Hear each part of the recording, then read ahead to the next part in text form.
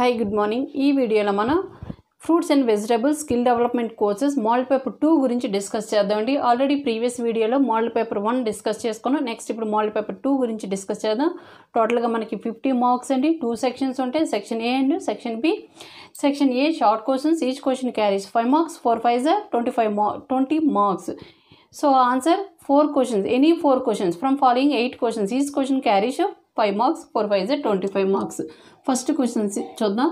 Differentiate between the physiological and horticultural maturity maturity means plant development అనేది. Last development స్టేజ్ని maturity maturity stage అని పిలుస్తాం. So వేటి మధ్య డిఫరెన్స్ అడిగాడు. ఫిజియలాజికల్ అండ్ హార్టికల్చరల్ మెచ్యూరిటీ అంటే ఫిజియలాజికల్గా హార్టికల్చర్ ఎటువంటి డెవలప్మెంట్ స్టేజెస్ అనేది కనిపిస్తుంది. వాటి మధ్య ఉన్న డిఫరెన్స్ ఏంటని అడిగారండి. So second question spoilage of vegetables vegetables అనేవి స్పాయిలేజ్ అవుతూ ఉంటాయి. మనం డైలీ మన హో హోమ్లో చూ హౌసెస్లో చూస్తూ ఉంటాం. వెజిటబుల్స్ అనేవి ఎట్లా స్పాయిలేజ్ అవుతాయి? By fungal effect or some bacterial effect. ఇట్లా కొన్ని కొన్ని మైక్రో ఆర్గనిజమ్స్ వల్ల ఇవి ఎఫెక్ట్ అవ్వడం వల్ల బై ఎయిర్ వల్ల ఇవి స్పాయిలేజ్ అవుతాయి. మరి ఎట్లా స్పాయిలేజ్ అవుతాయని దాని గురించి రాయాలండి. Next types of pasteurization for fruit juices preservation. So types of pasteurization for fruit juices preservation. మనం ఫ్రూట్ జ్యూసెస్ తీసుకుంటూ ఉంటాం. బాటిల్స్లో ఫ్రూట్ జ్యూసెస్ అమ్ముతూ ఉంటారు. అవి ఎట్లా ఫ్రూట్ జ్యూసెస్ అనేవి తయారు చేశారు. ఎట్లా ప్రిజర్వేషన్ చేశారు? పాచరై పాచరైజేషన్ అంటే to removal of the bacterias అండి. బ్యాక్టీరియాస్ మైక్రో ఆర్గనిజమ్స్ లేకుండా రిమూవ్ చేయడాన్ని పాచరైజేషన్ అంటారండి. మరి పాచరైజేషన్ చేసి ఎట్లా దాన్ని ప్రిజర్వ్ చేశారు? ఎట్లా ఫ్రూట్ జ్యూసెస్ అనేవి తయారు చేశారు అనేసి మనం ఇక్కడ రాయాలండి. నెక్స్ట్ ఫ్రోజన్ క్యారెట్స్ క్యారెట్స్ వీటిని ఏ విధంగా మనం స్టోరేజ్ చేయవచ్చు? ఏ విధంగా లో టెంపరేచర్లో ఫ్రోజన్ అంటే లో టెంపరేచర్లో ఏ విధంగా దాన్ని ఎక్కువ కాలం స్టోరేజ్ చేయవచ్చు?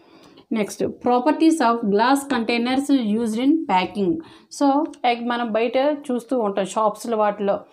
ఈ గ్లాస్ కంటైనర్స్లో మనకి ఇప్పుడు పికిల్స్ ఉన్నాయి. పికిల్స్ ఏం చేస్తారండి కొన్ని గ్లాస్ కంటైనర్స్లోనే ఎక్కువ కాలం స్టోరేజ్ చేస్తారు అమ్ముతూ ఉంటారు.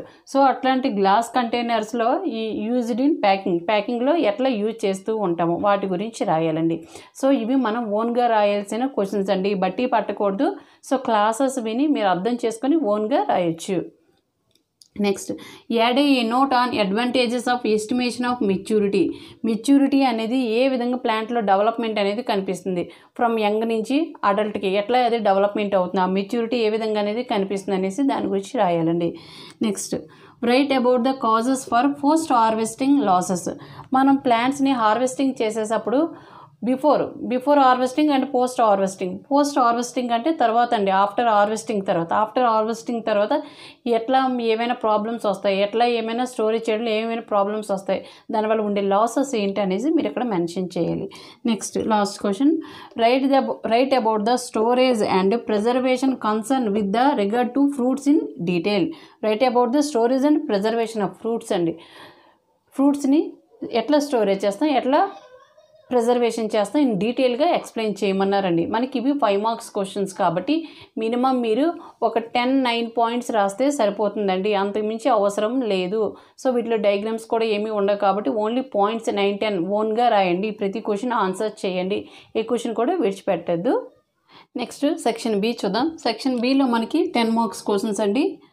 మీరు ఏవైనా త్రీ రాస్తే సరిపోతుంది. ఈచ్ క్వశ్చన్కి ten marks three ten are thirty marks first question define vegetables give an account of types of vegetables with suitable examples first మీరు ఏం మెన్షన్ చేయాలి? డెఫినేషన్ రాయాలండి. వెజిటబుల్ యొక్క డెఫినేషన్ రాయాలి. నెక్స్ట్ ఏం రాయాలి?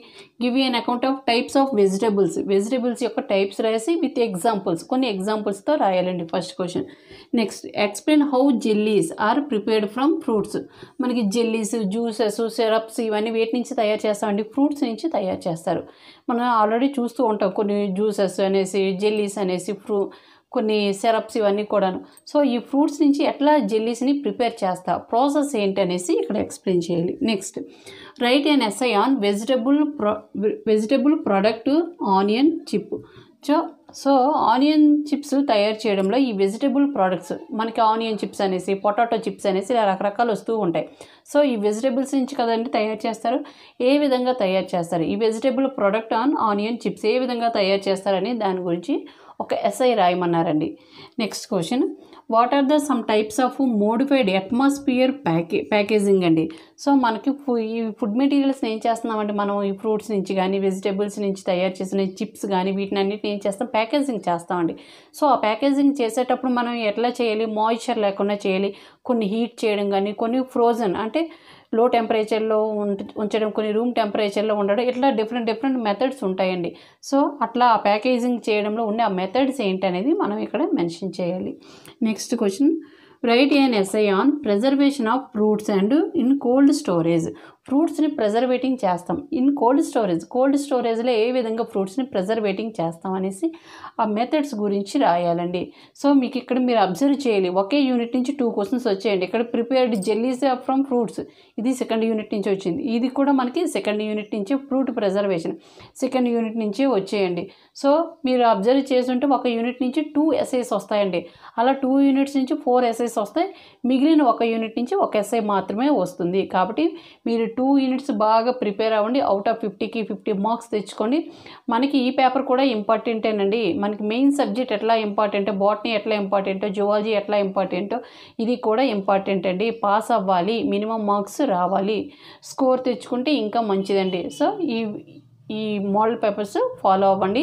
ప్రిపరేషన్ అనేది స్టార్ట్ చేయండి. Thank you so much